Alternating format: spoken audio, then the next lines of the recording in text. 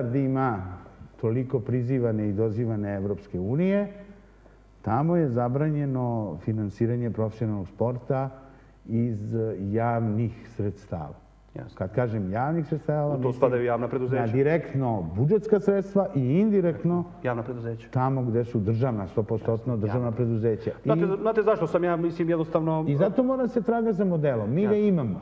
Zašto ja neću da ga pričam?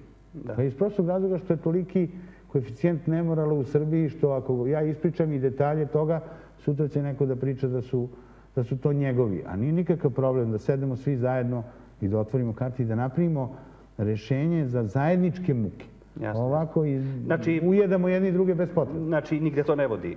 Jedno rešenje, dakle, da se košarkaški klubovi Zvezda i Partizan pretvore u divizije futbolskih klubova. Ne, to bi bile, ajde, vi kažete divizije, divizije, divizije, izraz divizija, sekcija, znači frakcija, više odgovara strankama, divizija više odgovara ligama, a prava terminologija je sekcija. Ako mi uzmemo neko sportsko društvo, ako nas su sportska društva, da, da ovo naše zvezdino je SD, sportsko društvo Crvena zvezda, ovi su JSD i tako dalje. I u okviru tog sportskog društva napravimo određenu rekonstrukciju, modernizaciju eh, i tako postavimo organizaciju da pored futbala imamo još sekcija gde moramo da funkcionišemo sa realnim i zatvorenim budžetom, s provodljivim budžetom. Naravno, to ne može da se desi preko noći, ali mi imamo taj koncept i znamo koje bi sve elemente prihoda mogli da ostvarimo. Pazite, Crvena zvezda ima jednu veliku sreću. To je ogroman populus navijača Crvene zvezde, ne samo u Srbiji, u regionu, pa boga mi u svetu. Znači, mislite da bi to jedna bila e, opcija i ja sam drugu hteo, to sam vam pomenuo kad ste prošli put bili ovde, pomenuo sam i gospodinu Daniloviću. Imamo taj absurd da je košarka u Evropi relativno, da kažemo, skromna kad je reč o novcima, da to nisu neke pare koje bi mogu da se porede sa futbolom, ali da imamo absurd da se u NBA ligi isplaćuju ugovori kakvi ne postoje ni u evropskom futbolu. Ali, ali Željko, mora da... Jer mogu da samo završim pitanje? Znači, samo sekund, molim vas. Nemojte stavljati u dimenziju e, upoređenja NBA. Pazite, svaki igrač... Jer mogu da završim svaki, samo. Evo, samo, samo svaki igrač u lokomotivi Kuban, na primjer. Tamo nemate jeftinijeg od 700.000 eura. Vi mislite da su to male pare. U ovom realu koji večerac igra, ne znam, baš skroz, ali skoro da nemate ni jednog jeftinijeg od miliona eura. Ali ja kažem, nisu male pare. A ja kažem o Nikoli Pekoviću koji je nedavno potpisao petogodišnji ugovor na, na 68 miliona dolara. Ne možete porediti. E, sad da vas ja pitam nešto drugo, dozvolite da završim samo. Da li bivši igrači, posebno igrači koji su imali 10, 7, 8 sezona, evo recimo ovaj Pavlović, na primjer, da ga pogledate. Njegovih 10 sezona u NBA ligi, 10 godina NBA ugovora. Ja mislim, ako bi pogledali jedini sportisti, možda neki futbaleri, tipa Mijatović, ovi koji su imali te veće ugovore u, u svojoj karijeri, Pixi ili tome slično, ali jedini profesionalni sportisti koji mogu, imaju ekonomski potencijal da budu investitori, ili čak vlasnici klubova su košarkaši. Ja sam sad A nisu futbaleri? Pa čak vam govorim i to, da čak nemamo futbalera u istoriji. Znate ko je naj, najplaćeniji? Savo Milošević 2000. godine je bio najbolji strelac Evropskog prvenstva i otišao u Parmu za 29 miliona maraka ili tako nešto. Čujte me, ja vam govorim šta su... U istoriji našeg futbala 29 miliona nemačkih maraka je najveći... Koje godine? 2000. godine. To je ko sad 50 miliona. Da, ali govorim, čujte, jedan Nikola Peković ili e, Predrag Stojaković, pitam vas, Radmanović e, i tako da, jer me shvatate, da li bi možda, ako već pričamo o tome ko bi mogli biti ti naši investitori ili suvlasnici ili e, ljudi koji će upravljati tim klubovima, napraviti neku vrstu pokušaja da se napravi pool neko, nekih tih igrača. Te pare u košarci posebno nisu prevelike, nisu to, a ja mislim da neki od njih vrte pare da mogu da budu vlasnici futbalskih klubova koje, koje su to pare. Da li možda treba privući te ljude da vidim da je recimo Bodiroga otvorio fabriku brojila, na primjer, i tako dalje, neku sad nedavno i tako dalje. Zašto ne bi njih privukli, pošto je taj novac ogroman, da na neki način nađe se model, da li da budu akcionari, da li da budu ovam onamo, da uđu i budu investitori u klubove iz kojih su potekli. Evo, razlog je prost. Da li je, zašto bi bio investitor ili zašto bi bio vlasnik? I uzeli ste Dejana, Bodiruku. On je investirao u brojila zato što brojila bolje vraćaju. Jasno, jasno. Da. A drugo, svaki profesionalni igrač koji je igrao, njegova profesionalna karijera ne traje ceo život. Uzmimo da njegova profesionalna karijera traje do 30. godine, prosečno. I da su neki, neki period od 20. do 30. da on onako stepenasto podiže ugovore i u tom periodu od tih deseta godina akumulira određeni kapital. On posle 30. godine, ako se nije opredelio, ne znam, za trenera ili nešto drugo u, u košarci, mora od nečega da živi. On ta sredstva koje je zaradio, tako je normalno da ulaže. Masa igrača ili kupuje stanove, pojedinci su, Kafiće, restorane. pojedinci su tu po Beogradu probali da investiraju u građevine, da prave, jer se obrću pare. I, I sasvim je normalno, pa i vi i ja da imamo višak sredstava, gledali bi da ih uložimo tamo gdje će to se vrati. Ali ajmo, ajmo ovo Oni pitanje. najbolje znaju Zašto to ne rade? najbolje znaju da li će kroz košarku da im se vrati. To je jedan faktor.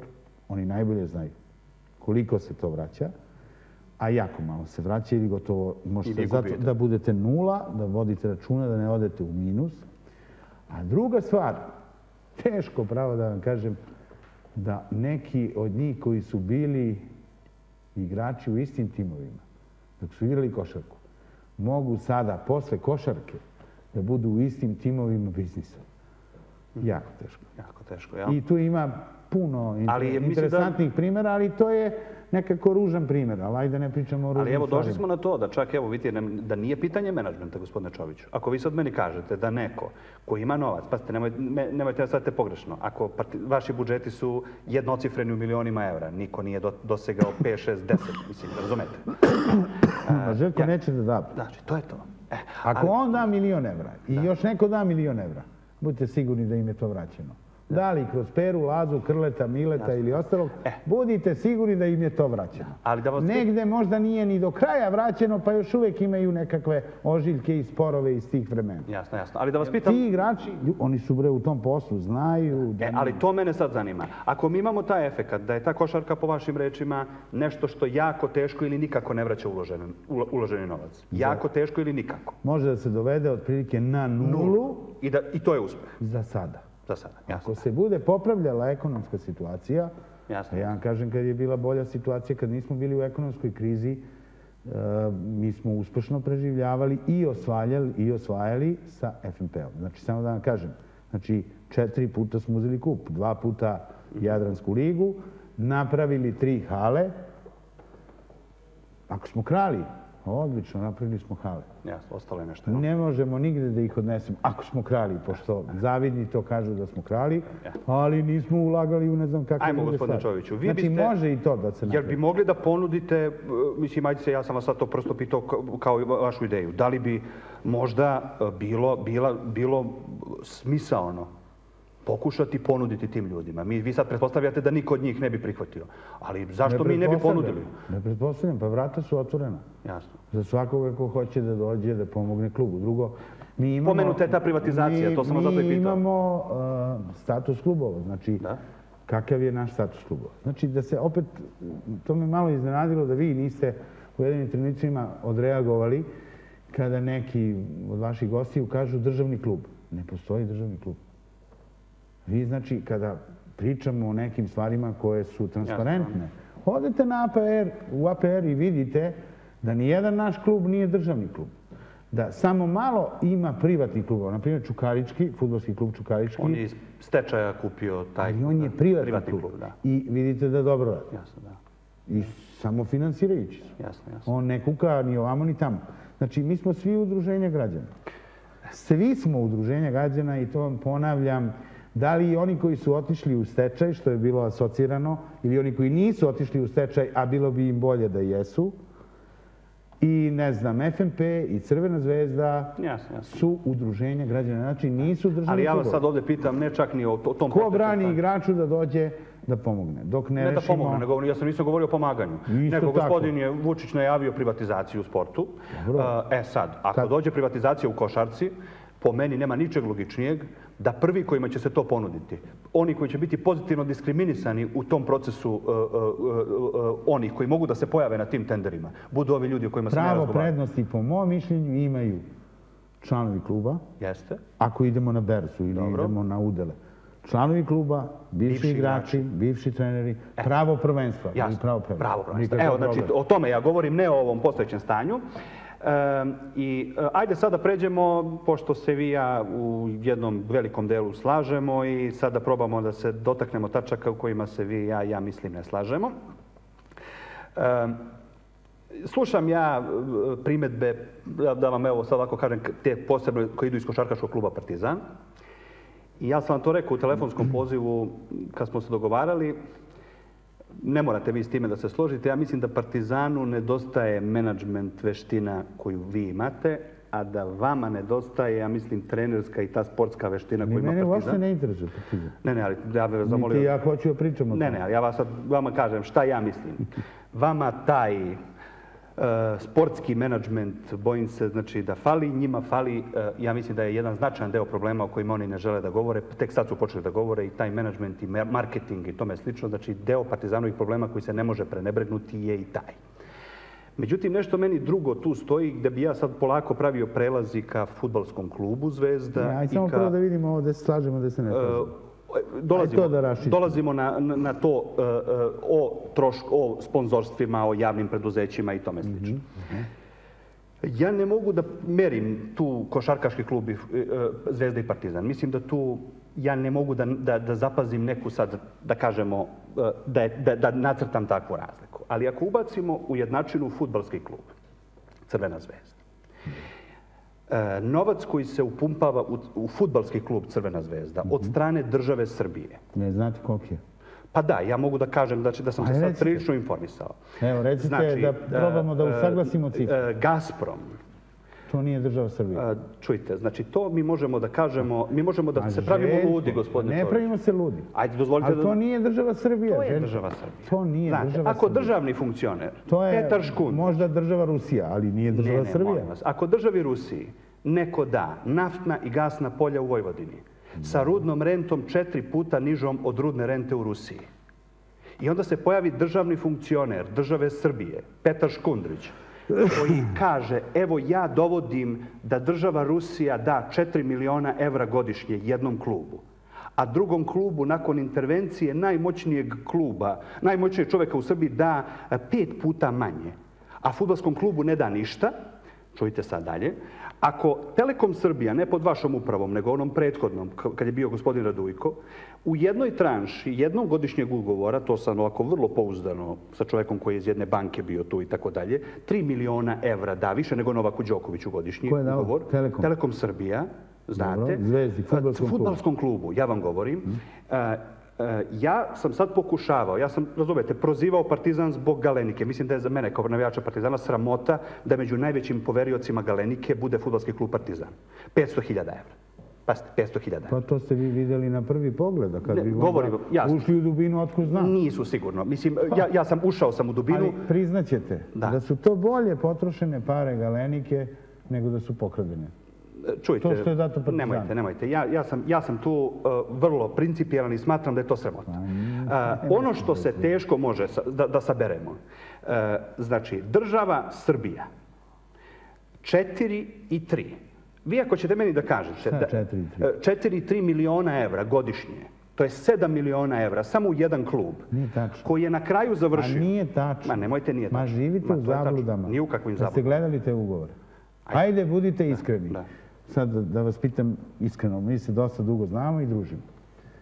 Znači da, tako sad krećemo u emisiju, kao da ste za ovu emisiju imali pripremu sa dva interesantna čoveka iz Partizana. Jeste li imali za ovu emisiju pripremu? Nisam, ja sam... Niste. Zaista. A ni za prošlu, onu 141. a ja sam 142. Ne, ne. Niste. Dobro. E sad da vam kažem. Jeste li imali prilike da pogledate ugovor futbolskog kluba Crvena zvezda i Gazproma? Ne. Ne. Ali zato tvrdite da je to 4 miliona. To je 4 miliona. To nije 4 miliona. Da. Koliko? Ja vam odgovor A kažem. koliko je? Neću da vam kažem. Pa da, super. Znači, Pa ja neću kažem, da vam kažem, ali je manje od Sigurno. 4 miliona. Sigurno je to. Nije. Da. Jeste li imali prilike da pogledate ugovor između Crvene zvezde i Telekoma? Da. Željko, da bi mi pričali o tome, da bi vi bili principilni novinar koji, bez obzira što navija za partizan, ali vi niste u onim grupama ostrašenih. Vi donesete ovako papire zvezde i papire partizana. Kao što ste na neki način, izvinite, ispalili jednu raketu, ništa ružno, mogu tako opušteno, u smislu, kaže, milion, milion i petsto, evo, sad ću vam reći, milion i petsto hiljada evra poreskog duga. Mogu, A kako, ne, ne, ne, pustite me sad da vam odgovorim. Evo sad ću da vam odgovorim. A kako je Crvena zvezda samo na 100.000 evra poreskog duga? E onda, pošto vi novinari se bavite analitikom, onda izađete i otvorite nešto što je Crvena zvezda radila i javnosti prezentirala. Jel, jel mogu I ja tu samo stoji, samo malo, pa samo malo, pa nećemo. Otišli ste na temu koju ćemo raditi posebno. Odlično. Ja možemo kasnije. Samo da vas zamolim. Evo, znači... Onda ću da se vratim na ovu temu. Vratite onda date drugu raketu. Kaže, 15 igrača futbolski klub Crvena zvezda doveo letos, prošlog leta, to je 4,5 miliona evra. Za platni fond? Pa nije tačno. Pa pazite. Pa nije tačno. A to vam je rekao gospodin Kokeza. Ma nije tačno. Ma nemojte gledamo, e, slušajte šta izjavljaju gospodin Kokeza. Kad je, kad je Čović ovdje, vi kažete rekao Kokeza. Kad bi bio Čović, onda bi rekao Čović. Znači, to nije tačno. Čujte, to nije tačno. Je li vam gospodin Kokeza rekao da smanjuje e, e, platni fond sa 4,5 na 2,5 i da je uštedeo 2? Ma nije tačno. Da je Crvena zvezda, tako ste rekli, pregledajte emisiju, dovela letos 15 igrača. Je dovela? Dovela je 15, ali, je to ne, normalno? ali ne za 4,5 miliona evra. Koliko je normalno, nećete vi da vam kažem. Pa ne, pa super je, da. Nego će tamo neka uprava da kaže koja odgovara za to. Super. Da li se ja slažem s tim ili ne, to je druga Dok priča. Dok mi kao porezki obraznici tu egzibiciju ne plaćamo, gospodine Čović. Ne plaćate vi. Ne plaćamo, jel? Za futbalski klub Crvena zvezda ne plaćate. Ne pla... Država ne finansira zvezda. Sasvim sigurno. Arena Sport nije dala nedavno neko sponzorstvo kojim je to plaćao. Koje sponzorstvo? Televizija Arena Sport. Da li se sponzorstvo zove otkup TV prava? Koliko je ta Arena Sport dala za TV prava futbolskom klubu Partizan? Ne znam koliko je Partizan... Evo, evo tu smo, tu smo, gospodine Čovječ. Ček, ček, ček, ček, koliko je Partizan seo i dogovorio se s Arenom? da, to je divno, da. To ne znam, Mislite da to od toga zavisi? Ja mislim da od toga zavisi. Da, da, da. Oni nisu ja seli, a vi ste seli. Kao što i porez za koji vi nećete da kažete, ne zavisi od toga da je država sad namjerno uzela Partizanu porez, ali slabo mi čitamo, znate. Vi znate za zakon o, o, o, o otpustu porezkog duga? Donet prošle godine sa rokom do 31. Košarkaški nije. Pa šta vam doće? To oni su krivi. I još nešto vam kaže, milijon i po evra duga za porez znači da niste plaćali porez minimum tri godine. I nemojte to da poredite sa zvezdinih 100.000, jer je zvezda plaćala porez. Bila je u blokadi... Osam godina. Osam godina, ali je plaćala... I sa blokiranim računom osam godina dovodila igrača. Tako je. Ili imala, kao i Partizan, čerka firme. Je li to zakonito? Pa ako je zakonito za njih, zakonito i za zvezdu. Nije. E, pa šta hoćeš? To, to je sad vrlo zanimljivo. Ja nisam tvrdio da je to zakonito. Ja ne, samo ne, kažem. Ne, ne, ne. Ja vas sad prosto pitam, vi ste čovjek iskusan. Jesam, da li je to po zakonu? Imate pravo da oformite firme, imate pravo da napravite čerka firme. Nemate pravo da ih napravite u onom trenutku kad uđete u blokadu. Dobro. Znači, Zvezda je pod osam godina blokiranim firmama, blokadom računa, firme imala bile blokirane pre, e, Firme su bile formirane pre blokade. I još nešto vam kažem za iznenađenje. Znači, ovo su podaci Crvene zvezde, košarkaškog kluba, da. koje može svako da proveri. Svaki revizor, jer mi radimo sad između ostalog i reviziju. I oni kažu ovako, da je Crvena zvezda platila državi od 2001. godine zaključno sa 20 sa, sa 25. februarom 2014. 3 miliona 538 hiljada 703 evra poreza. Poreza. Onaj rep koji stoji od 119 hiljada evra, koji Zvezda duguje iz maja 2004. godine, zato je Zvezda odmah čim je taj dug dospeo, bila i blokirana i nikad joj nije bilo dozvoljeno da se dogovori oko poreza, taj dug je ušao u, napred pripremljeni plan reorganizacije. Da, ali čujte, gospodine Čović. I taj znači... dug se namiruje i to je isto, isto neznanje. Ja sam bio zaprepašćen da li je neznanje ili zla namera. Pa sam rekao, ok, znam neke ljude, mislim da je više u domenu neznanja.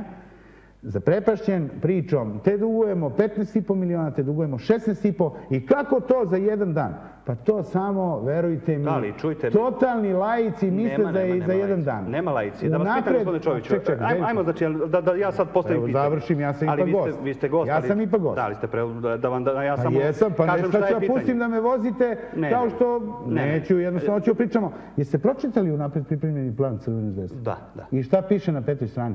Ja, pazite sad, da vam E, citiram pa ja šta? vaš plan.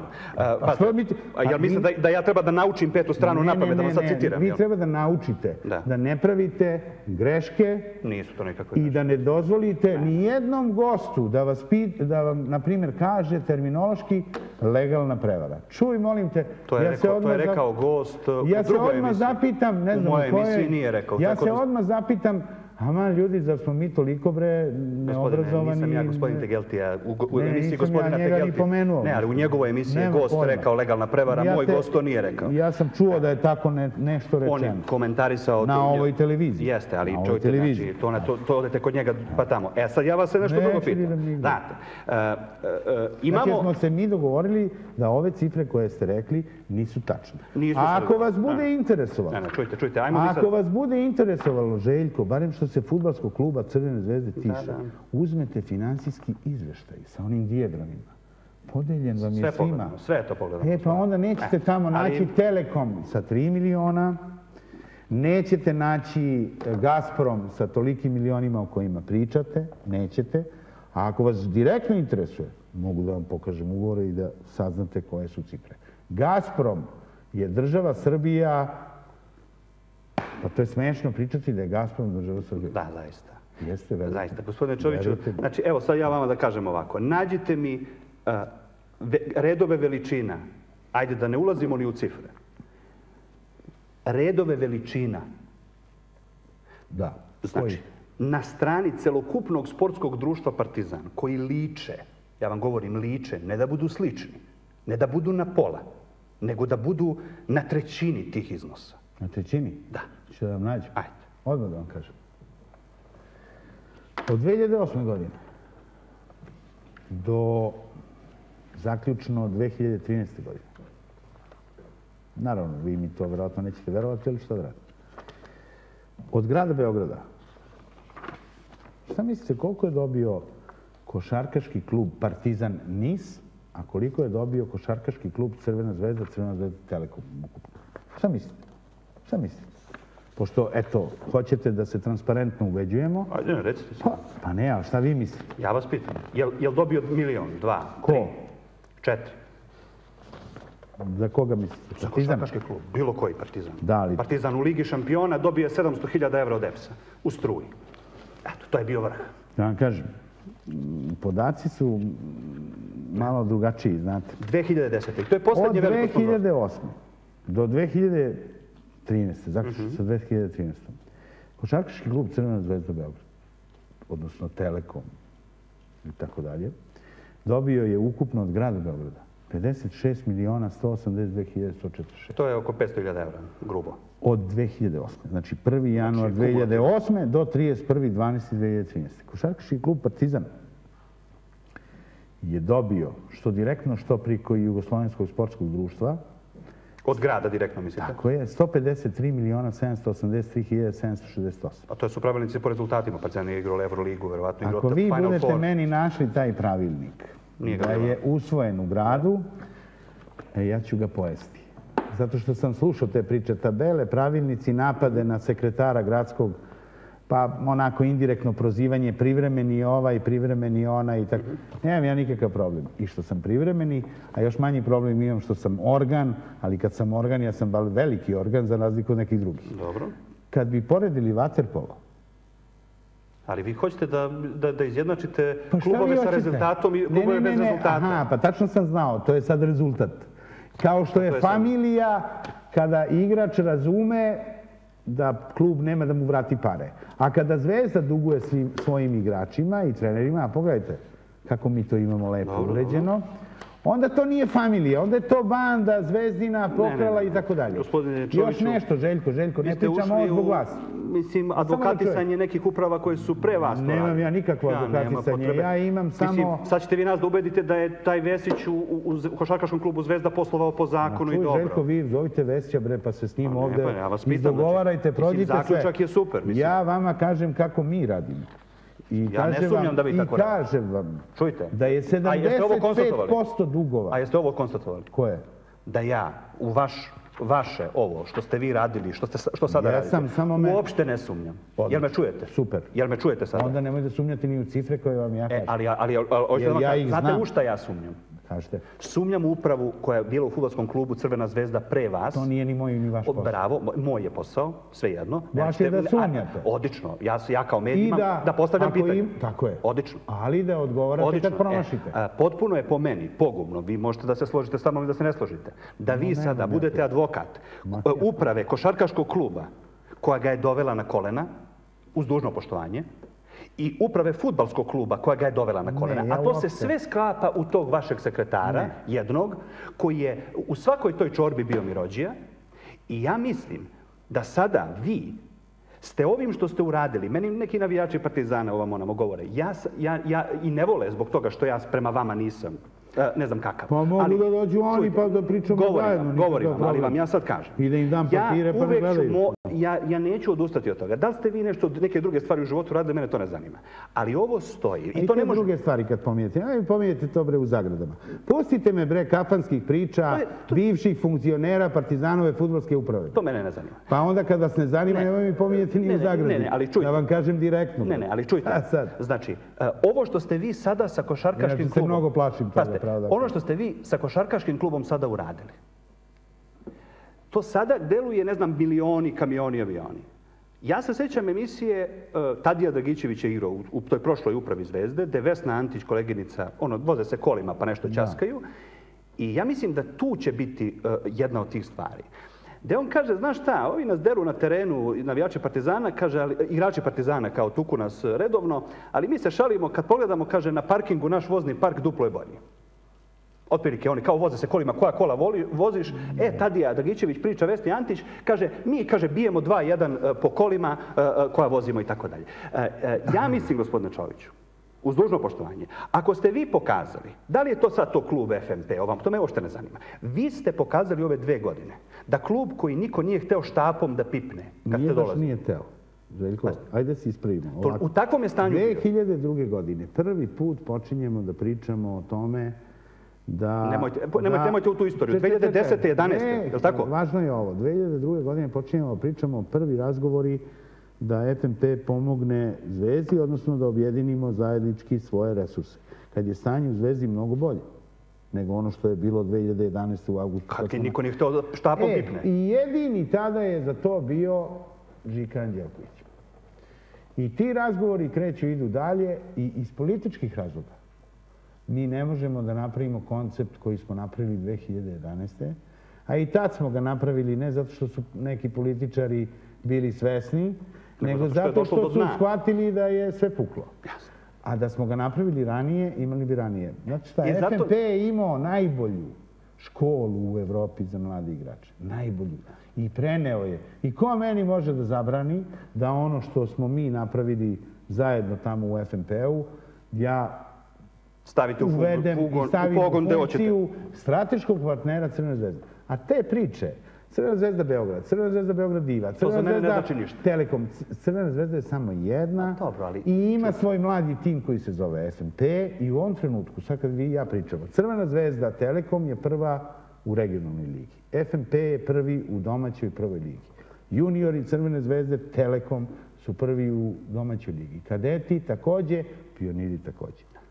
Radimo dalje. Odlično, ali I čujte, uopšte se ne opterećujemo. Ja sad samo A ja govorim, ničiji advokat nisam, niti hoću da ulazim u to, zato što, pravo da vam kažem, mislim da je, takvih stvari ima previše. Zovete ljude, bre, Pa direktno. neka, znači neće da dođu, znači to je sve, Ako dođu, ja vas cenim, znači mi se slažemo, ne Ja slažemo, ali nikad uvek nisam dođete. bežao da dođem. Odlično, znači za, zato ja imam jedno cenjenje i poštovanje, nemojte, mislim, I ja prema vama, s tim što Nemojte, znači, neću više da pričam ni u zagradama, ni u omalažavanju ništa. Ne, ne. nečega što je stvoreno. E, ovo što ste vi sad napravili, Znači, gde sam ja dobio pritisak 200?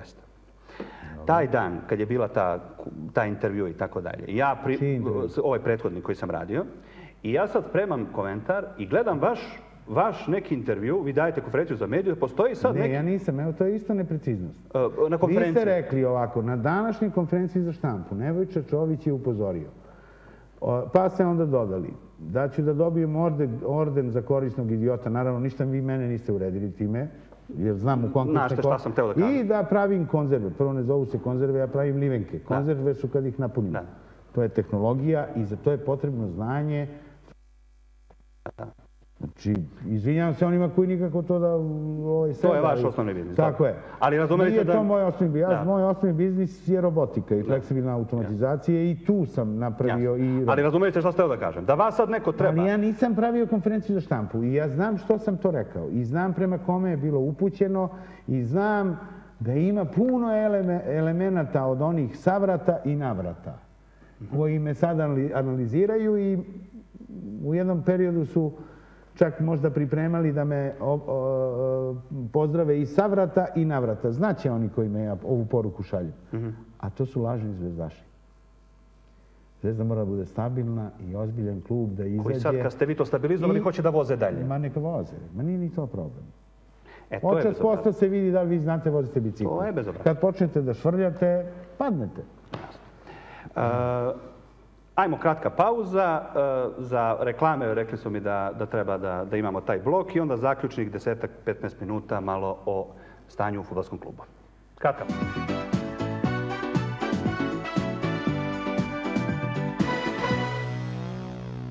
Oporaviti nacionalnu ekonomiju i stvoriti nova radna mesta nije lak zadatak. Kao u partiji šaha morate da imate plan i da budete strpljivi. Na kraju, da biste pobedili, morate da povučete odlučne i hrabre poteze. Onako kako smo krenuli u borbu protiv korupcije i kriminala, tako ćemo se boriti za bolju ekonomiju.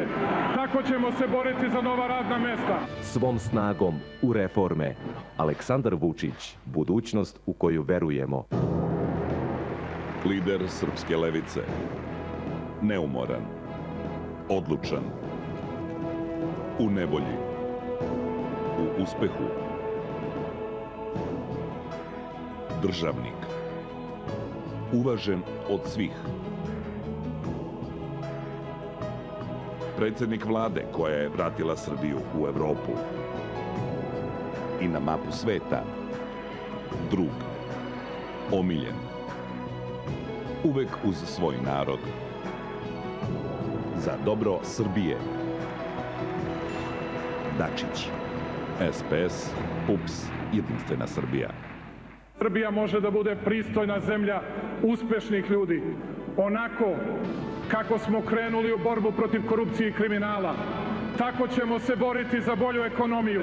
Tako ćemo se boriti za nova radna mesta. Kao što naš radnik u Nemačkoj, Austriji i Švajcarskoj je najbolji radnik. E tako će da bude najbolji i najvredniji radnik u Srbiji, jer ćemo takav sistem da uspostavimo. Svom snagom za radna mesta. Aleksandar Vučić, budućnost u koju verujemo.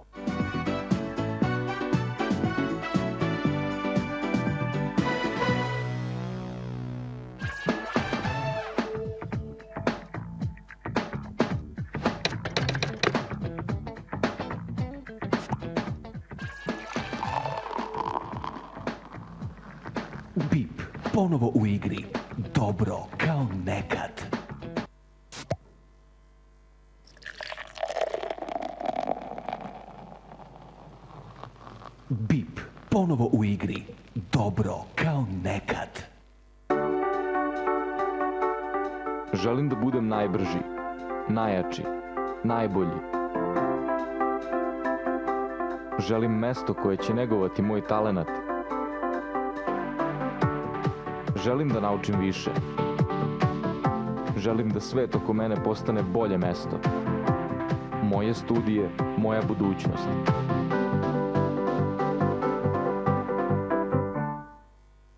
Zdravo, prirodno, osvežavajuće bezalkoholno piće od žitarica. Ruski kvas. BIP,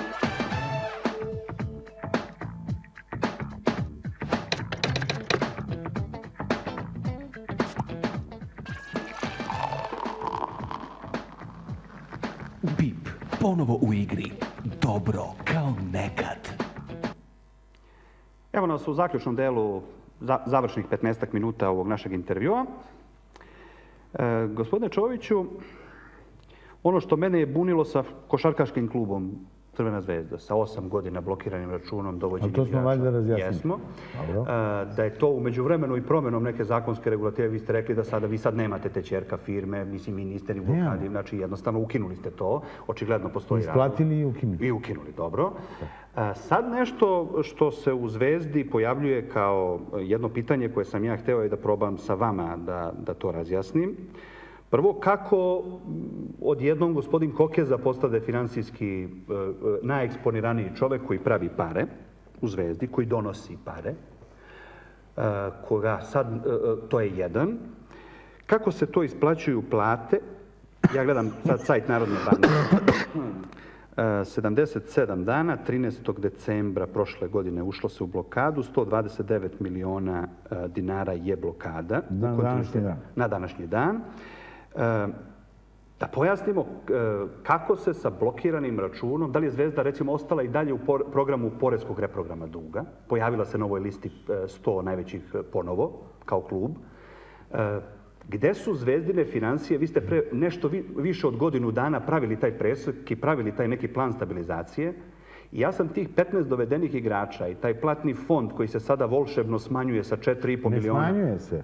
On je, ja vam kažem, oko milijon i osasto. Ne, ne, zašto Onda gospodin Kokeza nije govorio istinu. Pa nije tačno. Jednostavno, možda se niste razumeli. Zvezda ima 53 igrača. 50? Pa ako sve to saberete, onda možda izađe negde blizu cifru. Tako je. I to je normalno. Ne bi uopšte dolazimo u to, zato što sam ja o tome više puta pričao. Da nije normalno? Pa da je nešto što predstavlja luksuz, koga se treba osloboditi, a probati da odatle obezbedite dodatna sredstva. Međutim, tu prostoji problem da igrače niste uredno isplaćivali. Da. Pa onda mogu da vam odu. I sad, Zvezda koja ima ta sredstva koja ima, za razliku od nekog drugog kluba, nije uspela da transferiše igrače za, ne znam, 20-30 miliona. Ja vam kažem, u futbalu nema potrebe da niko pomaže bilo kom futbolskom klubu od ovih velikih oni mogu da budu takve industrije da ne samo sebe pokriju, nego i ono malo pre što smo pričali oko, oko sekcije. I košarka i rukomet. Vaterpolo. Sve su to sekcije. Da.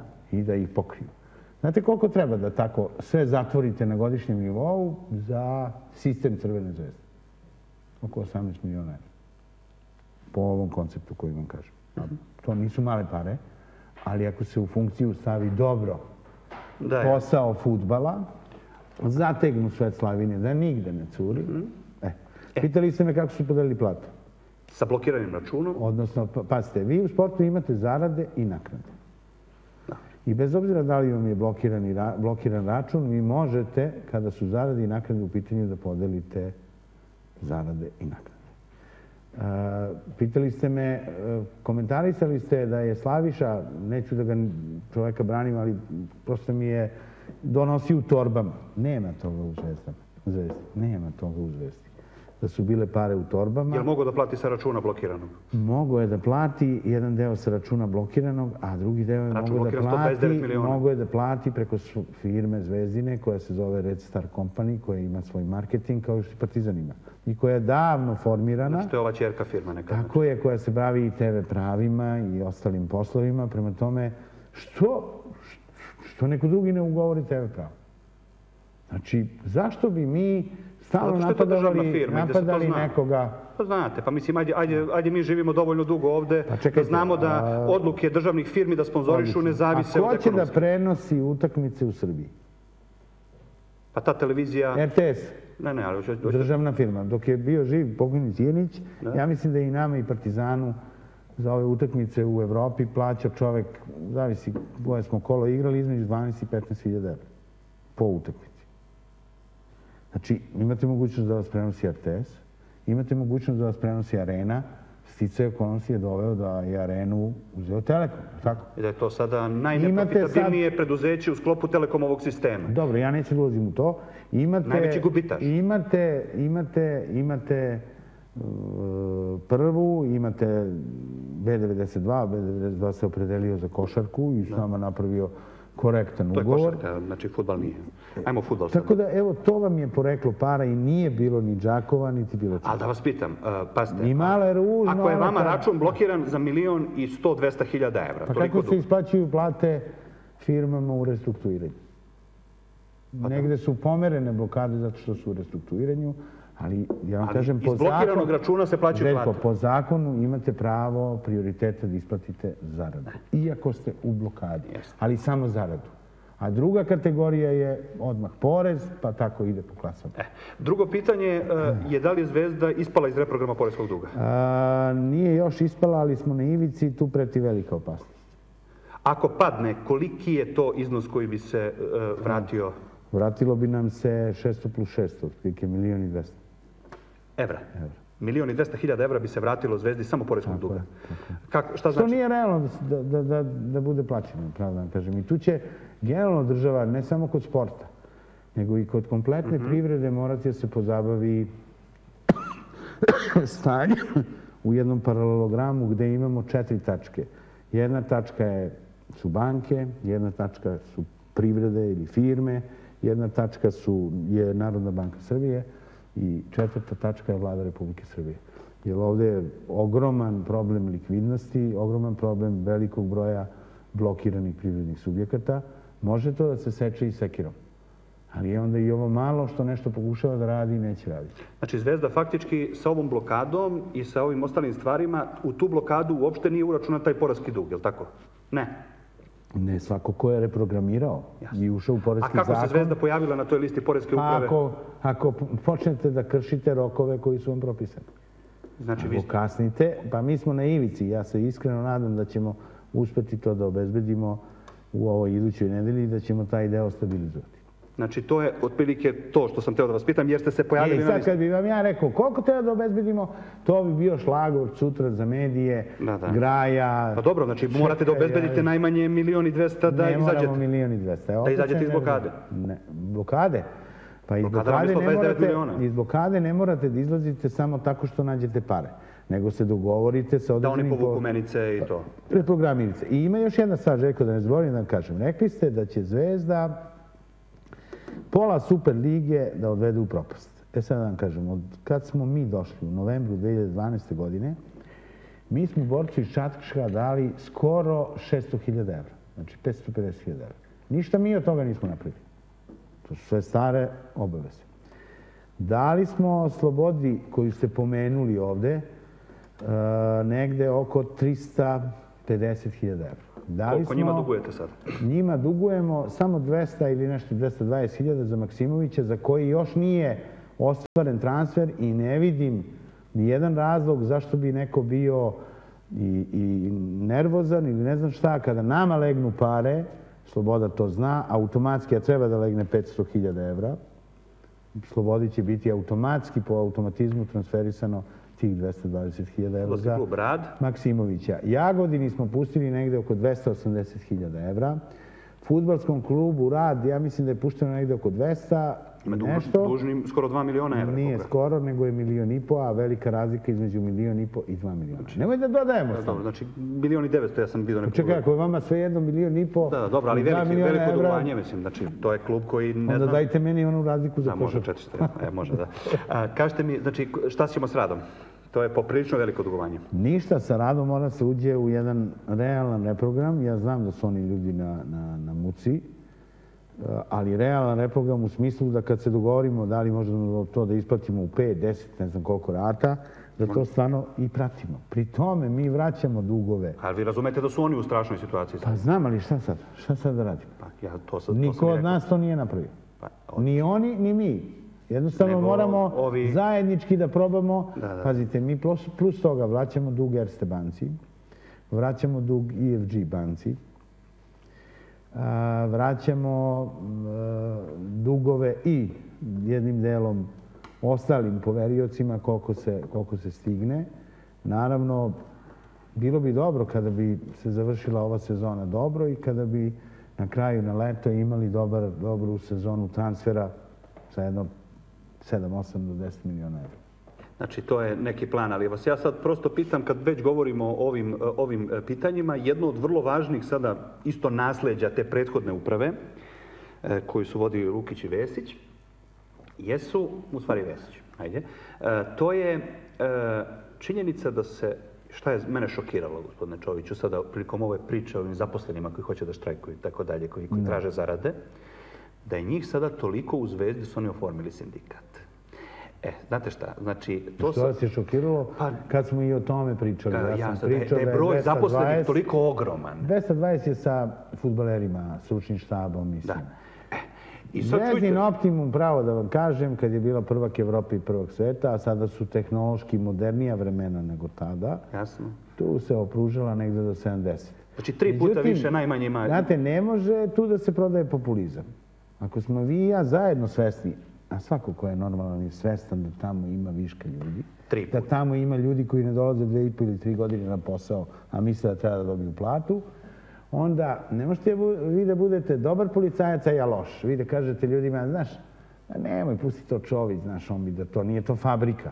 A ja kažem, seci, pa nećemo nikog da izbacimo na ulicu, daj da tražimo alternativne varijante da i tim ljudima pomognemo.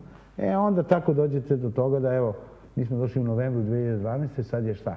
Kraj februara 2013. Novembar, decembar. Znači to je koliko? 16 meseci, jel? Da.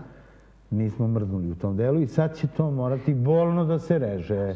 To što je neko napravio sindikat i to što neko najavljuje štrajk, da vam kažem. To je za mene vrhunac absurda. U sva uvažavanja ja te ljude tamo i znam i poštujem i sve. Ama ljudi bre, stavite prst na čelo, prizovite se pameti i štrajkujte.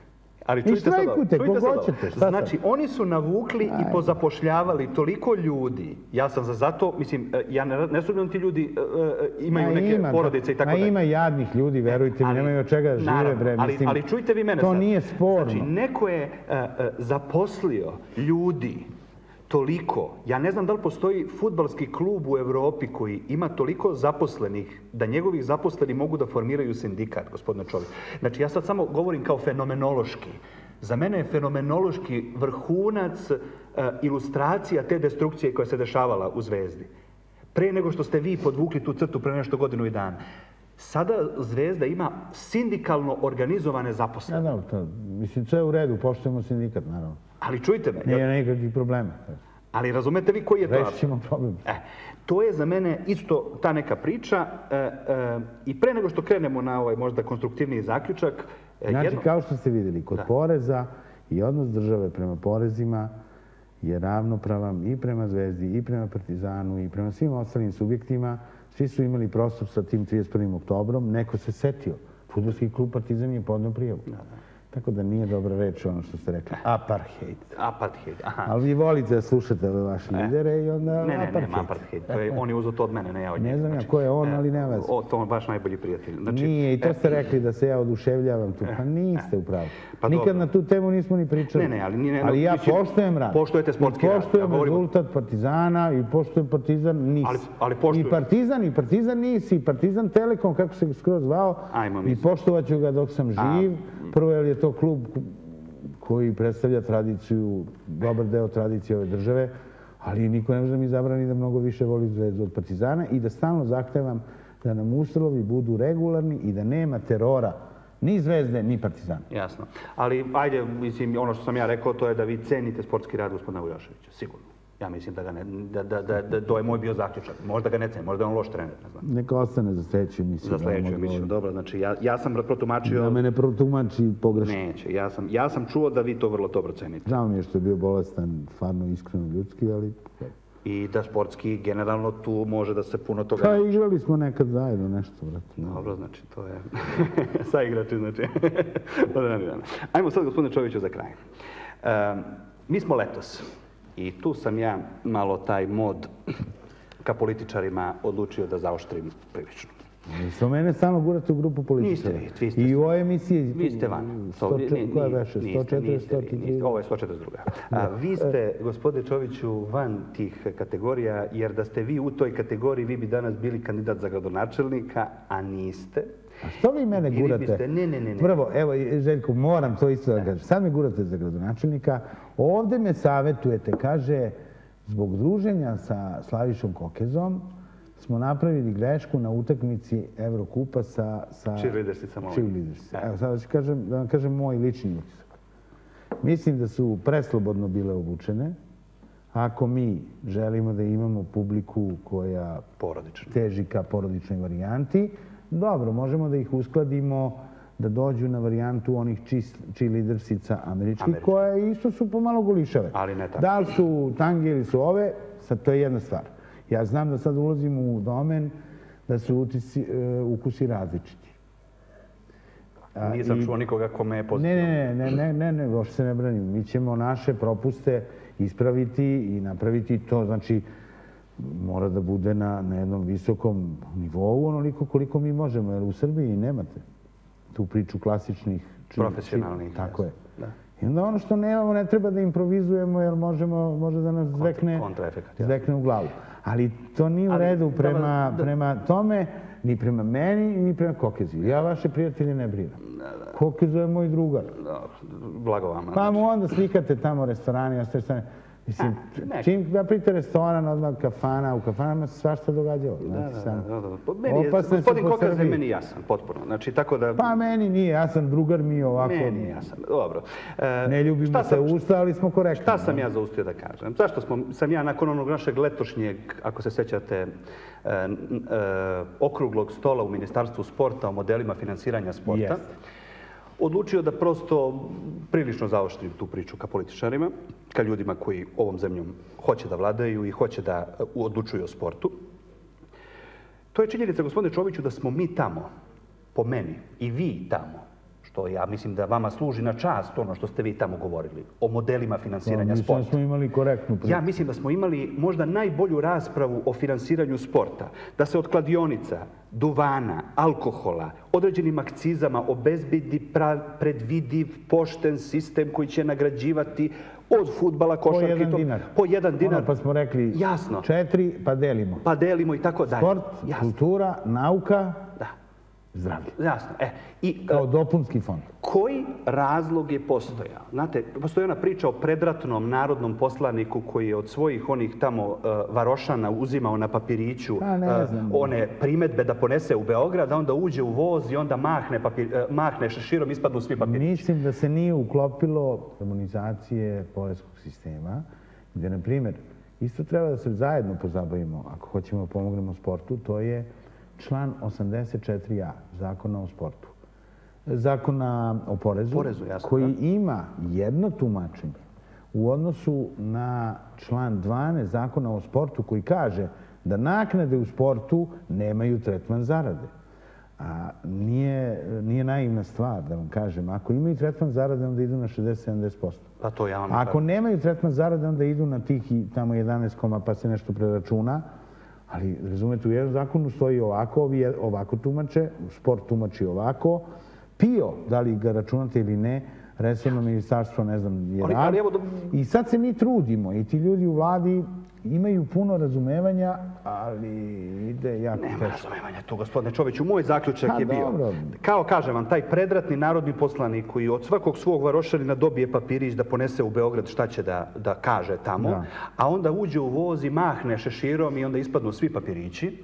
Ja sam se osjećao toliko namagarčeno, gospodine Čoviću, nakon toga, gde smo i Dragiša Kovačević i ja, sećate se i vi, i svi ti ljudi iz sporta. bilo je 20-30 ljudi je 30 pričalo. ljudi je pokušavalo da državi da konstruktivan predlog kako da se finansira sport, da bi mi toliko brutalno bili izignorisani, da bismo podigli to političko finansiranje, to ko za koga navija i kako za koga, do nivoa ko, e, ko s kim, i mene više oni, da vam kažem, ne zanimaju. E, mislim da je jezik koji, koji oni razumeju, ovaj koji se u ovoj emisiji govori, da je to sramota, da mi imamo sa vrlo malo napora šansu da napravimo sistem e, finansiranja u kome zaista nećemo ove rasprave voditi ko- koga, Željko, koga država više voli. Željko, u tim svim pravilnicima koji se pominju i tabelama, ne treba da piše ni Crvena zvezda, ni Partizan, niti bilo šta. sport i Treba takmičenje. piše sport, I takmičenje. treba piše takmičenje i treba piše šta vi dobijete ako ste u domaćoj ligi prvi. Šta dobijete ako ste u kup, ako ste osvojili kup. Šta dobijete ako ste se plasirali u Evropu. Šta dobijete ako uzmete nešto u Evropi? Jer vi predstavljate svoj grad. Pa i Partizan i Zvezda ne predstavljaju samo Beograd. Oni predstavljaju Srbiju. Jasno. I više od Srbije. Jer znamo gde imamo navija.